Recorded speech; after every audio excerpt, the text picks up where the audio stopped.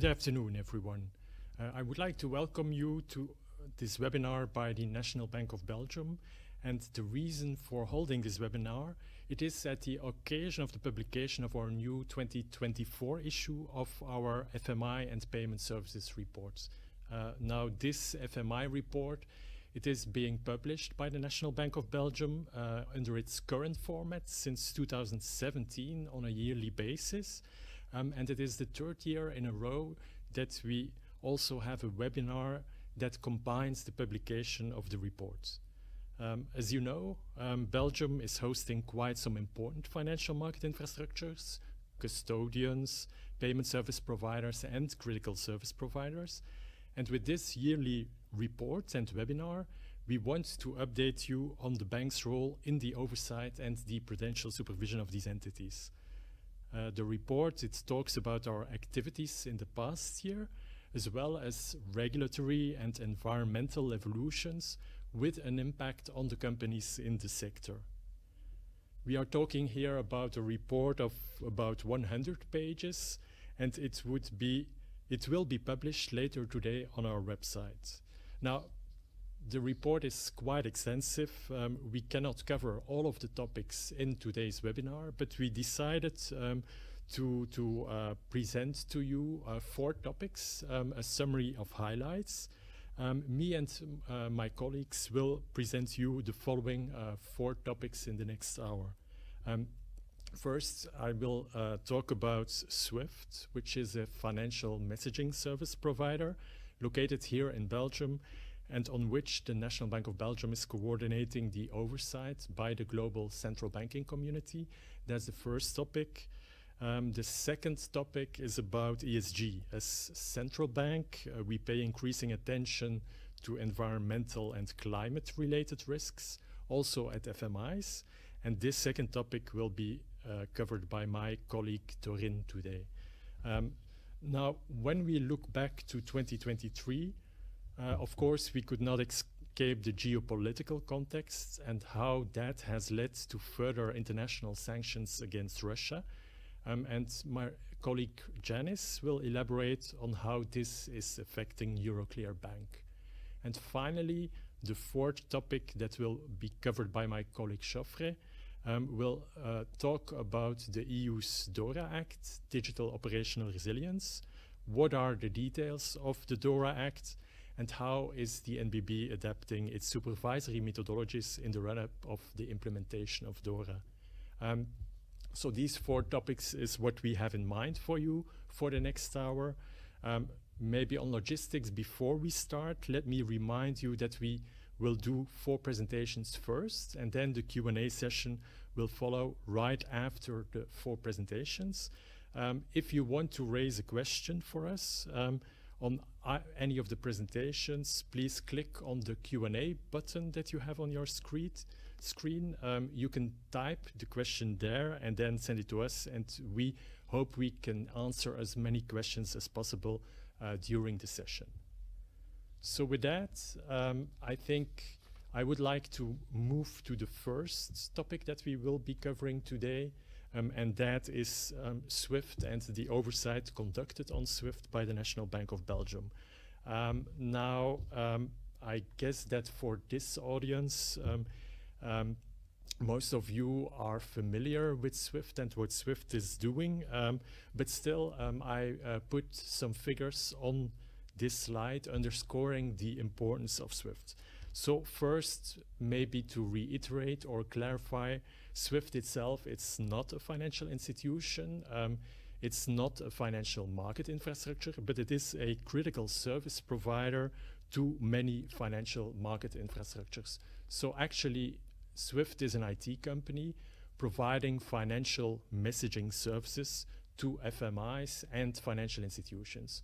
The main application that they have for that, um, it is called FIN, um, and there are actually around 12 billion such messages that are being sent from financial institution to financial institution on a yearly basis. They are active in more than 200 countries and territories, and there are more than 12,000 financial institutions that are connected to SWIFT. So that already shows a bit the importance of SWIFT as an organization. Now, um, they facilitate cross-border payments, um, correspondent banking, um, but they are also carrying over their networks many other types of, of messages. Um, it's not only for payments, but also for securities transactions um, that they conduct uh, a lot of messaging, also for treasury and trade. Um, so next to payments, a lot of market infrastructures, both in the area of payments and securities, are also relying on SWIFT for their messaging. Um, and these can be various types of market infrastructure. So I've listed a couple of them here. It can be high value or low value payment systems like a real-time gross settlement system and an RTGS system, Target 2 or targets today. It can be automated clearinghouses or low value payment systems, um, or also real time payment systems. Uh, we can think about uh, the Australian uh, platform um, for faster payments. Also, in the securities area, a lot of regulatory reporting and reporting messages um, are conducted uh, via the systems of SWIFT. So, all of this in a way is underscoring uh, the importance of SWIFT um, and that importance of SWIFT also didn't go unnoticed um, by the central banks. And for that reason, um, the central banks decided already a while ago um, to set up oversight on SWIFT. Now, um, oversight really is a, uh, a central bank concept. Um, it's not that SWIFT is prudentially supervised today, so this is not regulation. Um, but because of the importance for the international, the global financial system, um, the central banks decided, oh, we want to have a closer look on this organization. Um, the activity, it is called uh, oversight. Um, we conduct that as a central bank with an international community of central banks since 2004. So then uh, the international cooperative oversight arrangements were set up um, on SWIFT with the NBB in the role of lead overseer um, because um, SWIFT is headquartered in Belgium. Now that activity is not conducted solely by the National Bank of Belgium, but we coordinate these activities jointly with the central banks of the G10. Um, now, um, we are having a protocol um, with SWIFT that is organizing and setting up um, the arrangements of that oversight. That bilateral protocol by the National Bank of Belgium with SWIFT is being backed up by memoranda of understanding that we have with each of the participating central banks. Now, um, these are the G10 central banks, but that also includes the European Central Bank. Um, that framework is in place since 2004. It was expanded uh, since 2012 with a wider group of central banks. Um, there was a first expansion in 2012, a second one in 2019. Um, these central banks participate in our activities um, through a group called the SWIFT Oversight Forum. Um, in total, it compares to the setup of the G20 central banks that you also might know from the Basel Committee uh, uh, for Banking Supervision. Um, so it's a similar setup of participating central banks in our oversight of SWIFT. Um, and here again, um, the relationship with each of these participating central banks is being organized through MOUs.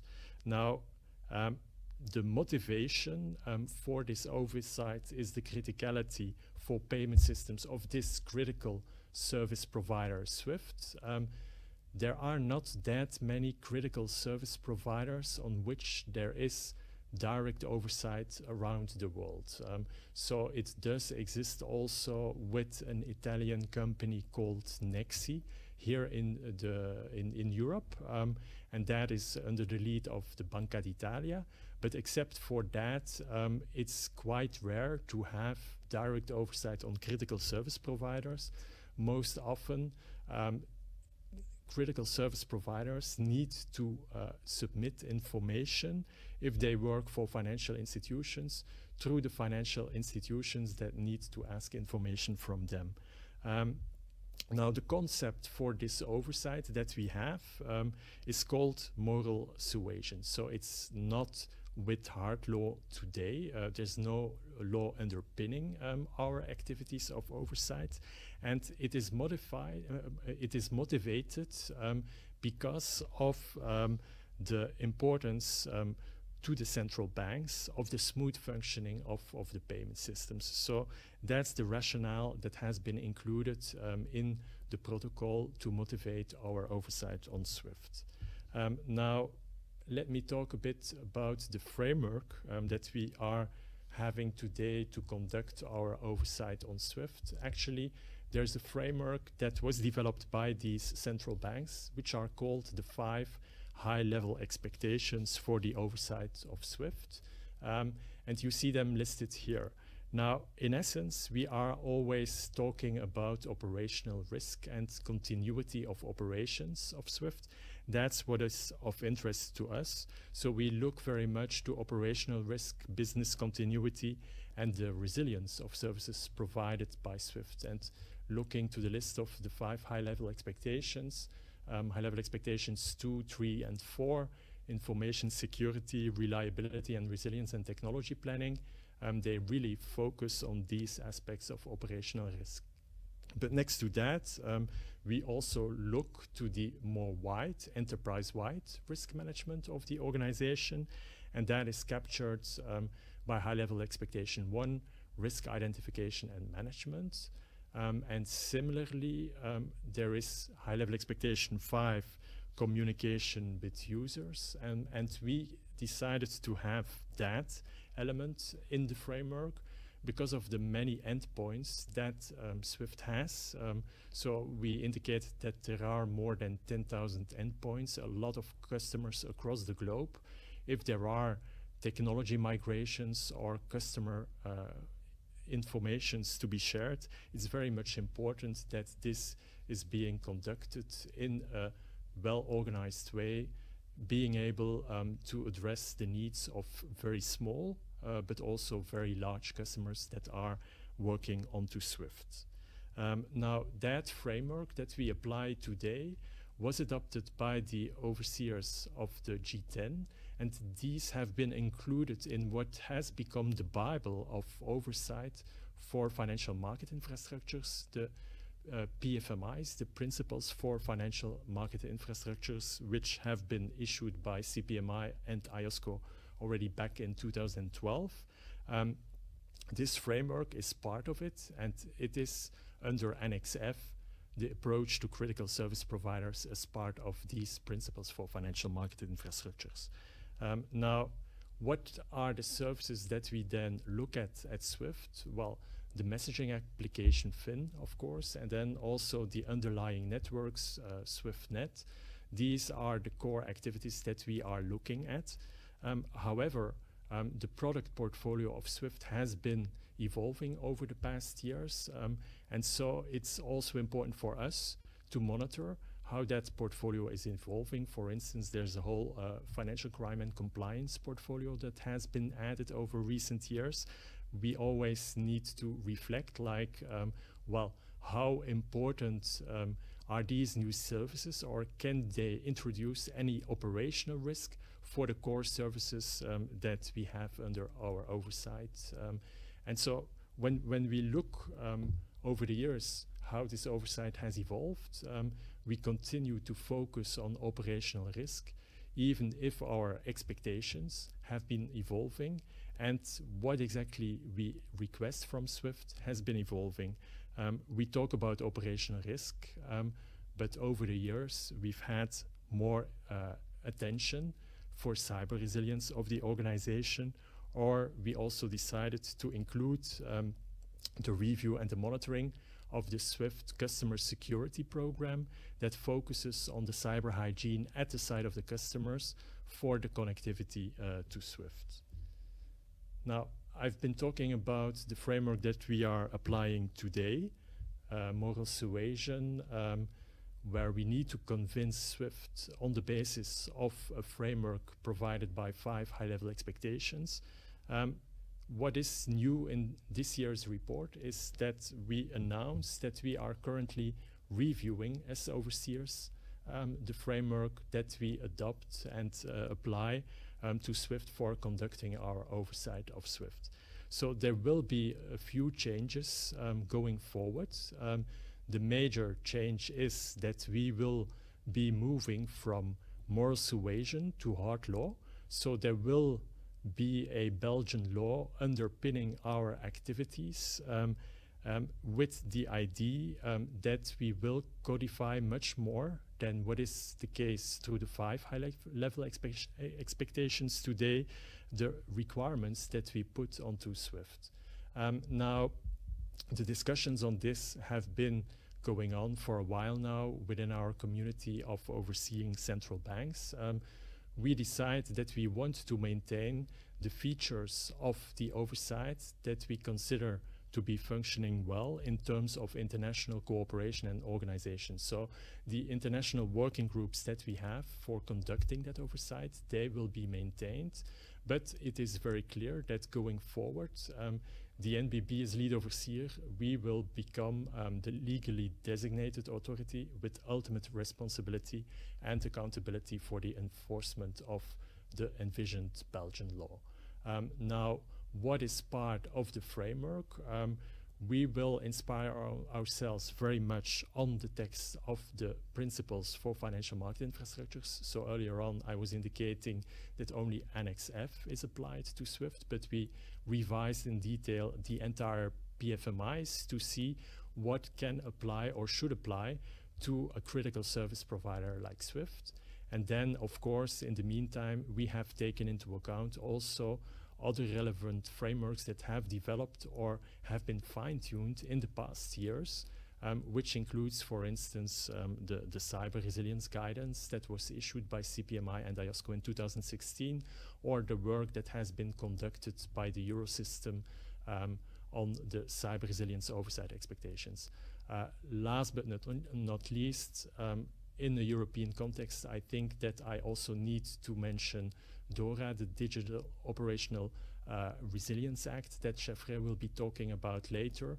Um, SWIFT as a critical service provider, um, they fall not within the scope of DORA, um, but it is important that we maintain a level playing field in terms of what the expectations are for financial institutions that are in scope of DORA, and then also um, what we expect from SWIFT. Um, so this is the information that we wanted to share with you on the oversight of SWIFT. Um, let's now move to the second topic in our presentations, and I pass the floor to Doreen, who will be talking you, to you about climate risk at FMIs.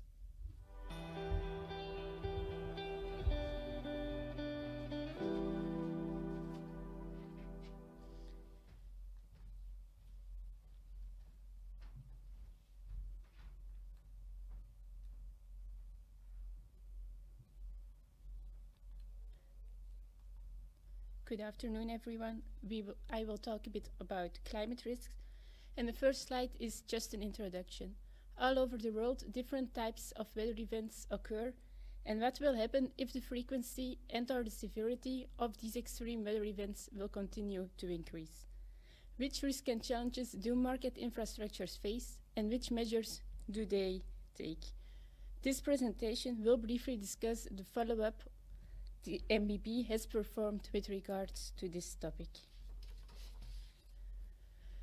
This timeline just shows the actions performed by the NBB with regards to the follow-up of climate risks.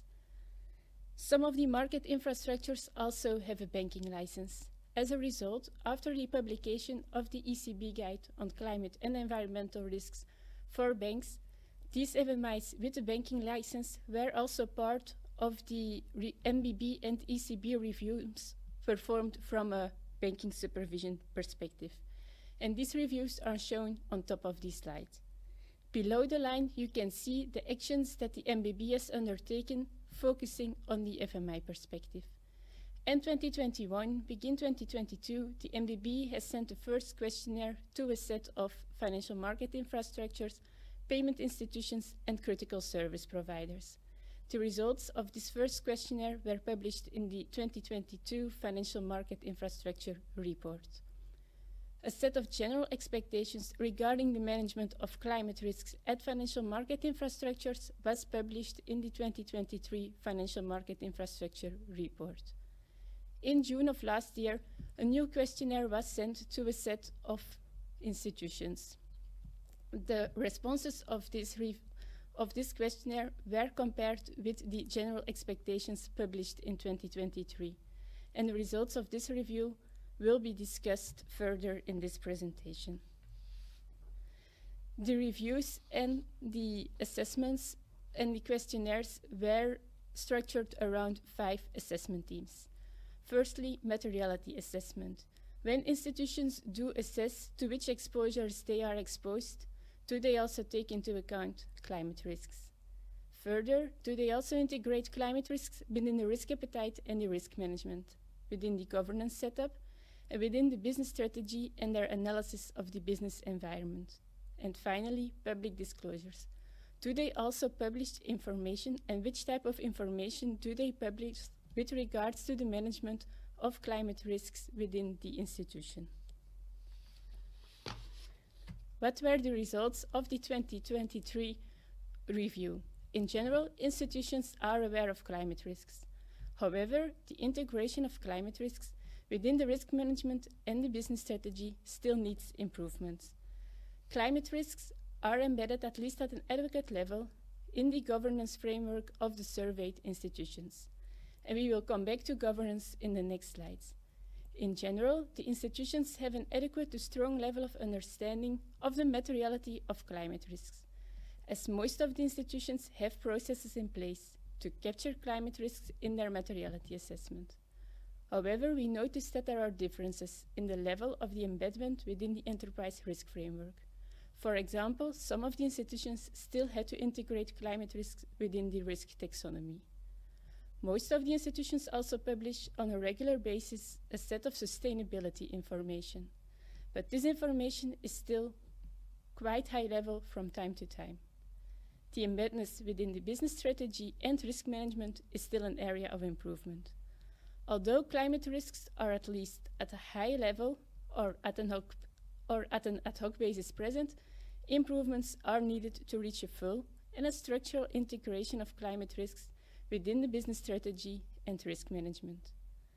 However, we have to mention that several of the institutions already, already mentioned improvements which were already ongoing or planned at several at the moment of the survey. Climate risks are in general not considered as a separate risk category, such as operational risk, credit risk, business risks are, but as a driver of other risk types. In general, the, the, institutions do not see a material impact of climate risks at the short term, but they listed potential risks and impacts at the medium to long term. And these were mainly situated at the level of operational risk, business risk, and reputational and legal risk. Some examples, more service disruptions at the own organization level and at the level of the third service providers, a limited capacity of data centers to function in extreme heat, unavailability of staff, as for example, staff can also be hit by weather events and higher energy prices and higher energy costs, not only due to higher energy prices, but also due to higher energy needs. Think, for example, to increased need for cooling. And also an impact on the reputation if the institutions fail to deliver to the targets and commitments they have set. Looking at the business model, the institutions have defined several potential impacts, not only higher costs and impact on business disruptions, but also impact at the product level. However, the institutions have also mentioned several mitigating measures, and these were mainly situated in the domains of measuring and monitoring, such as setting targets, implementing double materiality assessments, energy-related actions such as actions to reduce energy costs as renewable energy, replacing equipment by more energy efficient equipment and third party related initiatives like in implementing ESG factors in the assessment of new clients and new service third party service providers. When looking at governance, institutions have in general integrated the management of climate risks within the existing structure, ranging from the business level up to the board level. An example, some of the institutions have changed the mandate of the board and management committees to introduce a responsibility for climate risks. And these are often complemented by additional actions, like setting up ESG steering committees and specific ESG roles who will be responsible for the transversal implementation and coordination of climate-related actions within the organization. Regarding the monitoring of the impact of climate risks on business and the risk profile, the key performance indicators and key risk indicators to regulatory monitor the impact of climate risks have already been developed by certain institutions, but were in the process of being implemented at others. Besides some examples, existing KPIs and KRIs were mainly related to the measurement of the firm's carbon footprint. As the full integration of climate risks within the risk management and risk appetite is still an attention point and currently work in progress at several of the surveyed institutions. However, there also are also some positive elements. For example, climate risks are already adequately integrated within the business continuity management. As next steps, we continue to follow up on climate risks, not only via global reviews such as the one of 2023, but also via more in-depth analysis where we will focus on a specific topic. And the NBB will engage to contribute to the international work and international initiatives set for this field. Then I will now pass the word to Janice, who will tell you more about the Russian sanctions and the impact of the sanctions.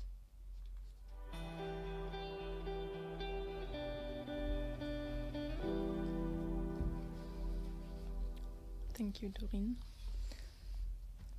So the aim of my presentation, as just said, will be to provide some more information on um, the sanctions against Russia and the impact that this has had on Euroclear Bank, as well as to provide some um, information on some of the numbers as well as regulatory developments. But before diving into the substantive part of the presentation, I first want to start by saying that uh, the National Bank of Belgium is not the competent sanctions authority. That competency lies um, with the Treasury. We, on the other hand, um, are responsible for the oversight of financial market infrastructures, and that includes, importantly, Euroclear Bank. As an international central securities depository, Euroclear Bank connects uh, international investors um, its participants to uh, more than 50 countries. It does so by um, having market links with um, other national central securities depositories, uh, which then facilitate the settlement of securities transactions. Um, that facilitates uh, the, the, settlement of those transactions across borders. Now, to give you an idea on the size of Euroclear Bank, um, Euroclear Bank is responsible for safekeeping securities worth 18 trillion euros. Um, it counts 1,800 participants that come from more than 110 jurisdictions. So those numbers clearly show not only the, the central position of Euroclear Bank in the financial ecosystem, but also the critical or systemic importance of uh, the firm, which in turn also um, shows uh, why our role as overseer in looking at the sound and prudent management of such a firm is so important. And also, finally, it uh, shows the relevance of our financial stability mandate. Now, to link this back to uh, the sanctions, uh, given the financial footprint of Euroclear Bank, Euroclear Bank has had connections with Russia at multiple levels. And that includes the fact that one of its participants is the Central Bank of Russia.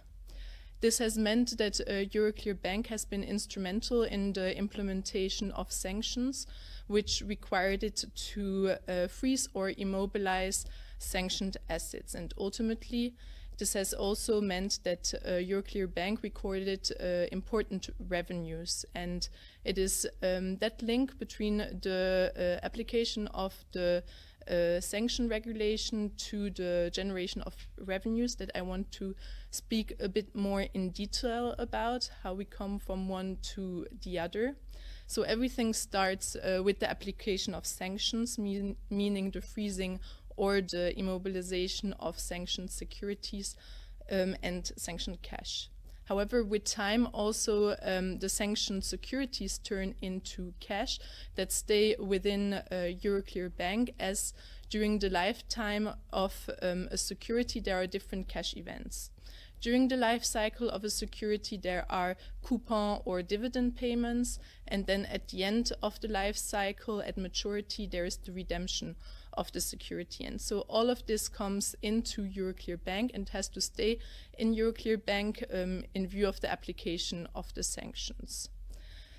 This then um, increases the balance sheet of Euroclear Bank and also means that um, throughout uh, the application of the sanctions, um, that uh, those cash balances form part of Euroclear Bank's estate. Euroclear Bank therefore has to reinvest um, the cash balances from a risk management perspective and also um, uh, to reduce capital requirements. It does so by reinvesting and um, given the high interest rate environment of the past two years, this has generated quite some important returns. Now it's important to note that the application of sanctions does not modify um, the entitlement or claim in restitution related to sanctioned assets. They are only suspended. And in addition, in view of the regulatory status of Euroclear Bank as a CSD, Euroclear Bank does not um, remunerate the cash balances that stay within its system. Um, and for that reason, then, um, while the principal coupon and dividend um, have to be restituted once sanctions would be lifted, um, the, the revenues made from the reinvestment are uh, part of Euroclear Bank's estate and hence part of the, of the PNL. On the next slide, we see uh, the increase in the balance sheet more clearly through this graph. We can see that um, around 160 billion euro um, of worth of increase are linked to the sanctioned Russian assets. Uh, as I said, um, the, the cash balances are then reinvested and this generated revenues in 2023. It has uh, generated pre-tax um, net uh, pre-tax net revenue of 4.4 billion euros. Um, also in 2023, 75% of uh, the net profit of Euroclear Bank has been related to the reinvestment revenues of sanctioned cash. But um, to have the full picture, it's also important to say that um, those revenues do not come without costs and do not come without risks for 2023, for example, um, additional costs related to the application of sanctions and the endurance of countermeasures has um, amounted to 62 million euros. Now, this may not sound as much uh, in comparison to the 4.4 billion, but 62 uh, million is of course still very important. And um, on top of this come um, uh, some of the risks that are related to the application of sanctions. And that importantly includes um, operational compliance, but also legal risk, um, as we are seeing that uh, various parties are uh, bringing claims to court in Russia where they are contesting the consequences of the application of the sanctions, um, asking for compensation for the, the sanctioned securities, the sanctioned cash, but also for opportunity losses and um, uh, damages. And, the, um, and to add to this, uh, maybe still that uh, the, the, the extent of this risk will only be known in the long term as those legal cases evolve and uh, come up over time. At the moment, we see that there are around 100 court cases.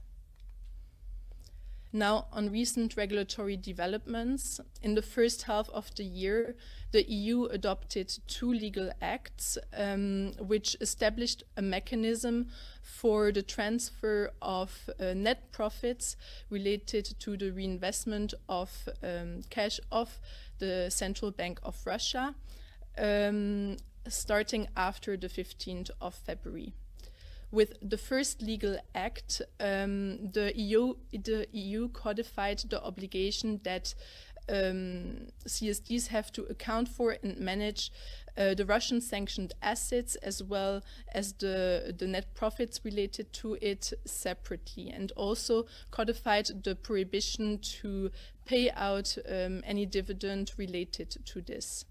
Now, I have to say, for the avoidance of doubt, that Euroclear Bank had already been complying with uh, those requirements, but in this way, the legal act paved the ground for the second Council regulation, which made the financial contribution um, uh, to the EU, um, to, to the Ukraine facility much more concrete. So it foresees that 99.7% of net profits uh, related to the reinvestment of um, cash of the Central Bank of Russia will be transferred to the Ukraine facility, but it also recognizes, as I said before, uh, that there are risks and um, costs related to it. And for that reason, it foresees that 10% of the financial contribution could be provisionally uh, retained, and it can be also more depending on the circumstances.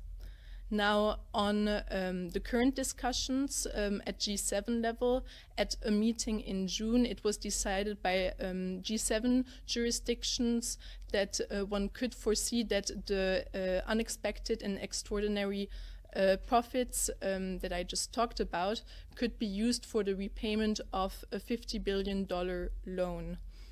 Um, now, the G7 jurisdictions agreed on the principle, uh, so that means that the, the details still have to be worked out. Um, um, but one could say that the work that the EU has done up until now has really paved the the, the way for um, for such uh, for such a measure. Now, before um, I conclude on my concluding remarks, I also want to say that um, what I was uh, saying in the beginning about how the application of the sanctions ultimately lead to the generation of revenues, um, what we're talking about when we're talking about a financial contribution to Ukraine, we're really talking about a financial contribution of a CSD. Uh, because the difference has to be made between um, the, the principal, the coupon dividend, and the revenues, we really cannot speak about a seizure of assets of the Central Bank of Russia.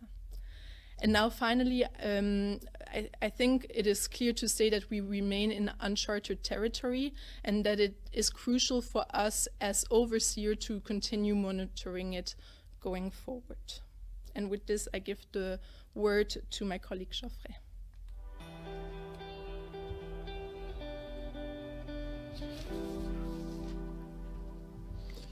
Thank you, Janice. Hello, everyone. My name is Geoffrey Verhoeven.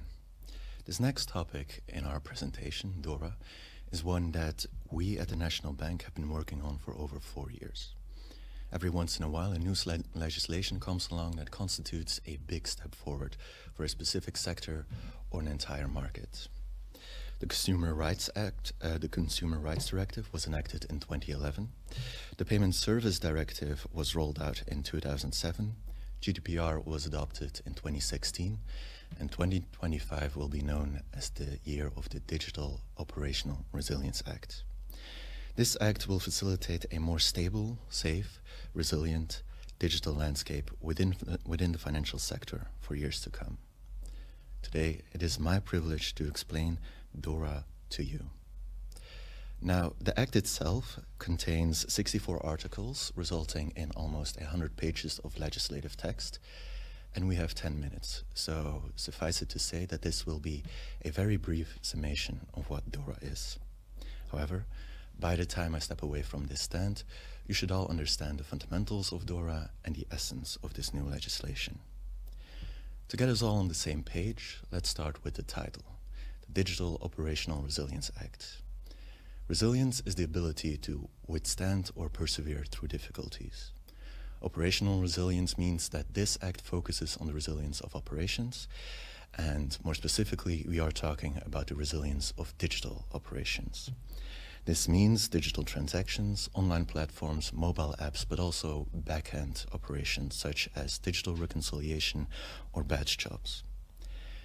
If your conclusion to that summation is that almost all operations in the financial sector are digital, then you're correct, which is one of the many reasons why this act is such an important piece of legislation. Now, to really understand DORA, we first need to ask ourselves one fundamental question. Why? Why is this act being rolled out? And the straightforward answer is that in an ever-evolving digital landscape in the financial sector, a more resilient and stronger and more effective piece of legislation is required. The digital landscape of a mere decade ago is almost incomparable to the situation today, which is far more complex and multiple times more dynamic. Year after year, the number of digital transactions increase exponentially, and year after year, the amount of money transferred increases in a similar manner. Also, more and more operations are being digitalized. This continuous evolution necessitates improved legislation. Or to make an oversimplified comparison, if it sounds logical that a safe containing more money also needs to be more secure, then it stands to reason that today's digital financial sector also requires a more effective legislation. And this is where DORA comes in. DORA is more comprehensive, it offers new tools to us to fulfill our mandate more effectively. It will be the basis of a homogeneous approach to supervision on digital resilience in a single EU market. It is a single, solid legislative piece that will support a safe and stable digital financial sector. Now that we know more about the reasons behind DORA and the circumstances around it, let's explore the contents of the Act. As previously mentioned, DORA is wonderfully comprehensive, but in summation, the Act is based on five key pillars. The first pillar, the first pillar focuses on governance and risk management. Based on tried and tested sectoral standards, guidelines, and recommendations, these articles highlight the importance of policy and robust organizational framework. In fact, it is often through approved policies and implemented frameworks that we as supervisors get a first hint of the commitment that an organization has to digital resilience. DORA also describes functions in ICT risk management, such as identification, protection, and prevention of risk, detection, response, and recovery from breaches and failures, training and development so that teams can remain on the forefront of new trends and best practices, and communication with key stakeholders. All of these functions should be adequately filled in to support effective risk management, and this is the first pillar of DORA. Now, with everything in place, testing of operational resilience is the second pillar. It is vital to periodically assess the resilience against cyber attacks, to identify gaps, and to rapidly implement any necessary corrective actions as a result. While all financial entities require are required to subject their ICT systems to testing, ranging from uh, analyzing software to scanning for vulnerabilities, some entities are required to perform advanced threat-led penetration testing. But these entities are specifically identified by the competent authorities. So with these two pillars, we have covered internal operations, and internal here is the key word because financial institutions don't operate in a vacuum. They work in an environment with various agents. Now more than ever, financial organizations rely on external parties for a variety of services, including IT services. And increasingly, we see financial institutions opting for a cloud-first strategy. But just as with internal services, these external ser services might be essential to your operation which is why they are subject to digital resilience risk. Third-party risk management is the third pillar of DORA. DORA provides sound principles on how third-party risks should be monitored and provides regulation that harmonizes the key elements of service provision and the relationship with, ex with external ICT providers. On top of that, DORA establishes an EU oversight, fra oversight framework on critical ICT party service providers. So, with these three pillars, we have covered the internal and external operations, and we still have two pillars left. Up until this point, we have protected ourselves well against difficulties. We have increased our resilience as high as we reasonably can. But with all that in place, if something were to happen, then we, the supervisors, must know immediately. The fourth pillar is supervisory reporting of incidents. The mission of the NBB is to maintain a strong and stable financial sector. And in that endeavor, we want the communication channels to be as short and streamlined as possible, especially when it comes to urgent and important topics such as ICT-related incidents and significant cyber threats. The fourth pillar is a full spectrum, full spectrum clarification on what needs to be reported and how. How ICT-related incidents should be managed and classified, to whom they should be reported, in which format, and so on. However, the fourth pillar details more than that. As supervisors, we also have a responsibility in upholding the efficacy of these communication channels. It is up to us to provide guidance and to provide feedback to financial institutions. And it is up to us to transmit relevant data to other authorities who have a legitimate interest. That way, financial institutions only need to concern themselves with reporting to one authority. Now, the fourth pillar also leads us to the fifth and final pillar, which is information sharing.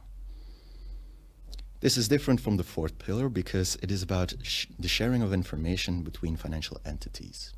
DORA explicitly permits financial entities to establish mutual arrangement for information exchange on cyber threats.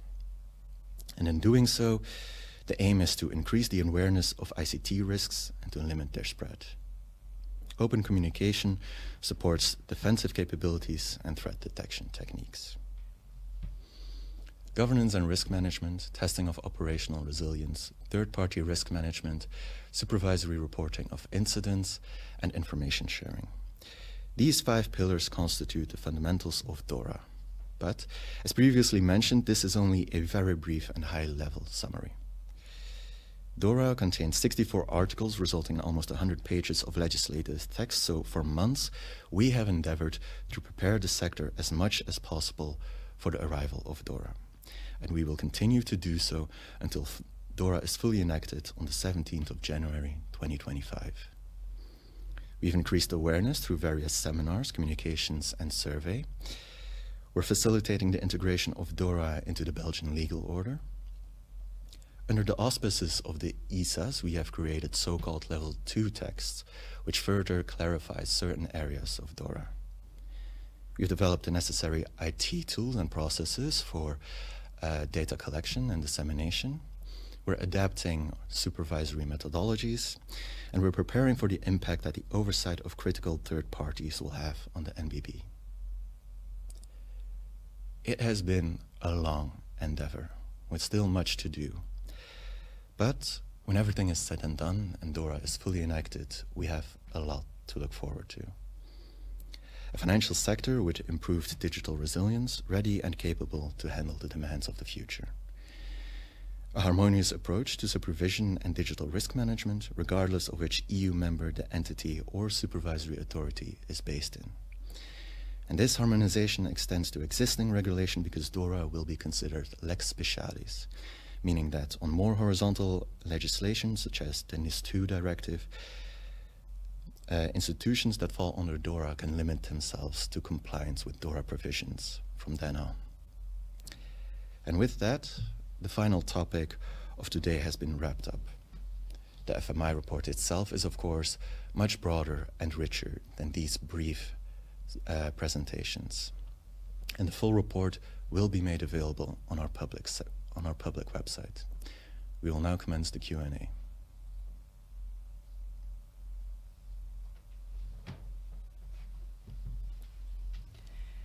Thank you, Nikolai, Doreen, Janice, and Geoffrey, for your interesting presentations. Uh, I see the audience has some questions. Uh, Nicolai, let's start with uh, two questions related to SWIFT. Um, first question Is SWIFT secure for hackers? Well, that's that's a good question, and I guess that's the whole purpose of how how Swift they themselves are securing their operations, and also the purpose of our work to make sure that they are well protected. Now, can you give assurance for 100% that they are fully protected? No one can ever give that uh, assurance, but but still it is the whole purpose, and that's why we have all these discussions with Swift. Um, so you need to know that there are cybersecurity frameworks. Um, all of our international guidance is inspired um, by these. Um, well, one in interesting reference is the, the NIST cybersecurity framework. Typically, there are best practices and measures to be taken in four areas like identify, detect, protect, and recover. Um, you will see that these areas come back in many international legislations, um, the cyber resilience guidance from CPMI and IOSCO, but also DORA is inspired by this structure. By, by this structure. Um, now, given the criticality of SWIFT, of course, um, we probably can ask more from Swift or we expect Swift to do more than a smaller organization. Um, and that's also why we expect them to be very vigilant for new vulnerabilities being uh, made public um, and also why we are discussing with them extreme but plausible scenarios and discussing then with them how they can well protect by taking additional measures. Um, so that would be my answer. You never can give 100% assurance, but the idea really is to make sure that they are well protected. You also explained that you are currently working on a review of the SWIFT oversight framework. Does that mean that the scope of this SWIFT oversight will change? And if so, can you give some examples? Huh. Um, the, the, the ultimate objective will remain the same. So we are very much interested in the operational continuity and resilience of the services. It's only the way in which we codify things that is changing. Um, and so um, we, we had these five of we have we have these five high level expectations that I was talking about they are really high level. If you compare that um, to uh, codification of expectations that, for instance, financial institutions will now have with the DORA Act. Um, and so what we aim to do through a Belgian law is to also codify our expectations. Now, um, under the high-level expectations, our actual demands from SWIFT have considerably evolved over the years. Um, we are now codifying that in, into legislation. Um, but if there is one area that I would like to mention where I do think that we will be asking more, um, it's the specific area of governance. In, in terms of governance expectations, we will set more specific expectations. For instance, up until now, we, we did not have a clear definition on what constitute independent directors. Um, and so we expect that there will be independent directors going forward at SWIFT. And for certain appointments, we would also apply um, fit and proper approaches. So that means that, that we uh, check uh, whether people are fit and uh, proper um, to execute specific functions that we consider key in the organization. Thank you, Nicolai. Uh, we also received a question for uh, Doreen. Uh, Doreen, you mentioned several possible negative impacts, risks and challenges. Um, do institutions also see opportunities and, and what can they do to tackle climate-related risks? Institutions definitely also see oppor business opportunities and they also believe that they can play a role and they distinguish themselves three different roles. Firstly, they believe that they can reduce their own impact by taking measures. Secondly, they also believe that they can encourage and inspire the other stakeholders in the financial sector As they play a central role, they can put the topic on the agenda of events and conferences they organize.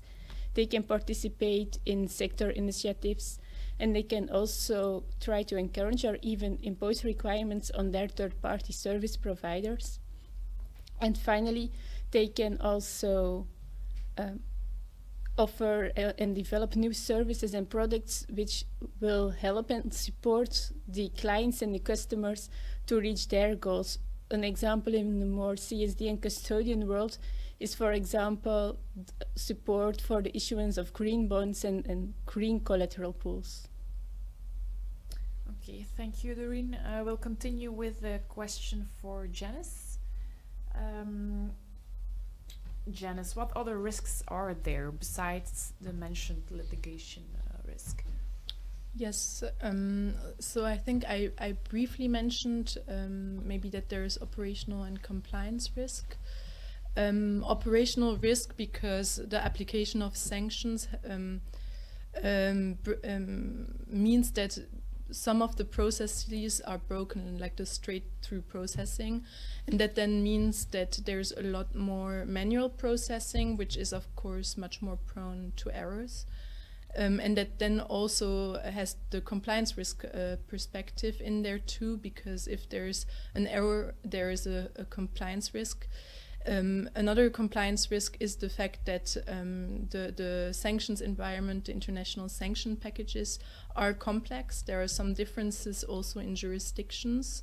So uh, you really need to clearly understand what are the obligations where, and then also identify properly um, the relevant connections, uh, whether it be to Russia or um, the relevant jurisdictions that have adopted sanctions regulation.